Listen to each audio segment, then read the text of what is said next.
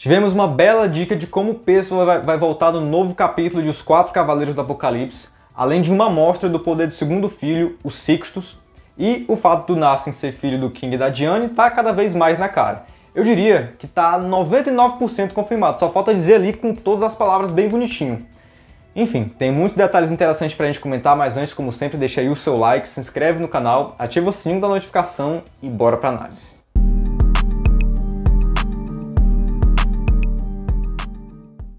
Como o capítulo tem muito que comentar, vamos começar pelo início. Já começa revelando o nome do mago misterioso do Arthur, que apareceu pela primeira vez lá no capítulo 6, não sei se vocês lembram. Ele deve ser o substituto da Merlin e se chama Kilbegan, que como os outros Cavaleiros do Caos, é um nome tirado aí de uma bebida alcoólica. Nessa parte deu a entender levemente que ele é um humano apesar da aparência. Ele diz nos unir como companheiros humanos. Mas talvez ele só tenha dito isso porque ele trabalha ali no meio de humanos, né? Então isso não quer dizer nada exatamente. É, não seria o primeiro não humano que o Arthur emprega nas forças dele, né? Tinha, um, tinha um Nanashi e ainda tem o Vampiro Orlund também. Indo para a luta dos Sixtus contra os Cavaleiros do Caos, é inegável que o moleque aí é uma cópia do, do pai dele, até nos poderes. Mas de onde exatamente vem o poder dessa lança dele? Porque o do King vem da, da árvore sagrada. Será possível, gente, que a árvore já escolheu o próximo rei? Sendo que o King ainda é tão jovem, ainda deve estar tão longe de morrer. Sem falar que se ele consegue fazer tudo isso, é porque ele tem a mesma magia que o King, né? A magia desastre, que é o que permite ele é, é, controlar e mudar a forma da lança. Eu acho que não é nem que ele tenha sido escolhido pela árvore, mas é porque ele é muito parecido com o King geneticamente. E vocês lembram que a Elaine disse no penúltimo capítulo de Os Sete Pecados Capitais que fadas normalmente nascem de flores? Então não é comum que elas nasçam assim por reprodução sexuada.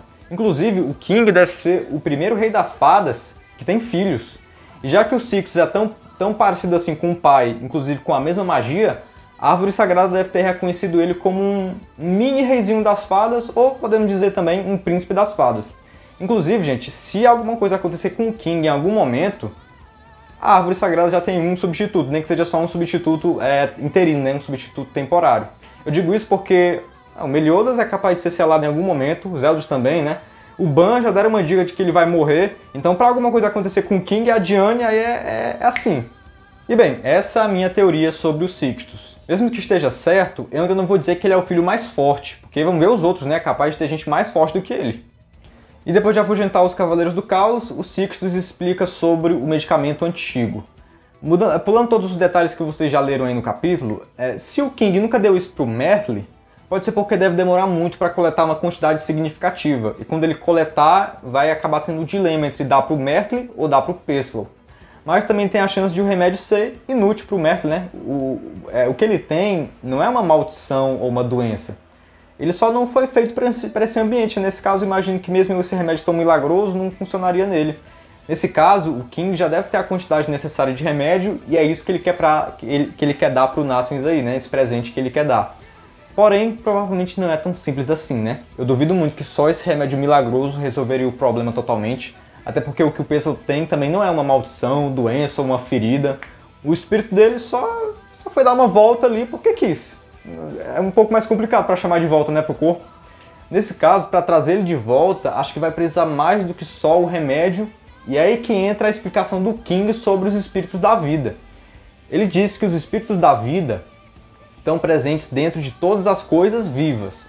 Mesmo assim, gente, eu duvido muito que o pêssego esteja agora dentro de alguma planta, algum bicho ou algum indivíduo ali aleatório. Nesse caso, qual é o lugar mais provável? Presta atenção, qual é o lugar mais provável para ele estar agora? Mesmo que dividido em várias partes? Já sacaram, né? Dentro dos amigos dele. Esse tempo todo ele está dentro de todo mundo que amava ele. Então, para trazer ele de volta, vai precisar não só do remédio antigo, mas também do máximo de pessoas que eram, que eram amigas dele, né? E quem vai ser essencial nesse ritual todo vai ser o Nassens, porque ele logo deve aprender a ouvir a voz do peso. Eu acho que ele não conseguiu ouvir, ouvir aí nesse capítulo porque ele tentou ouvir do lado de fora, né? Mas ele tem que tentar ouvir do lado de dentro, porque o peso está lá dentro. E antes de continuar, se você tem interesse em aprender a desenhar tão bem quanto na capa Suzuki, estou deixando aqui na descrição desse vídeo um link para um curso que está custando menos de 5 reais um curso de desenho de personagens de anime e mangá. Presta atenção, gente, aproveita essa oportunidade porque eu só vou fazer o anúncio desse curso mais uma vez, vai ser só no próximo vídeo, depois acabou. Então, se você tem interesse em aprender a desenhar personagens de anime e mangá, aproveita logo essa oportunidade, não perde a oportunidade e compra logo esse curso. E minha nota para esse capítulo é 9,4. Me pergunto também por que, que o Arthur está atrás desse remédio antigo. Teria algum motivo especial? Pode ser só porque seria muito conveniente ter um remédio tão poderoso em mãos, né? E o nome do próximo capítulo é Triste Passagem. Será que vai mostrar o flashback do Percival indo dessa para melhor, mas dessa vez do ponto de vista dele, tipo o pós-morte dele, o, o, lugar, o estado onde ele está agora? Será que ele está consciente onde quer que ele esteja, dentro ali dos amigos dele? Imagino que não. Se ele tivesse totalmente consciente, talvez ele já tivesse tentado voltar, ou não, né? Não sei, deixa aí nos comentários o que, você acha, o que, você achou desse capítulo, o que você acha que vai acontecer nos próximos. E tchau, um beijo, até a próxima.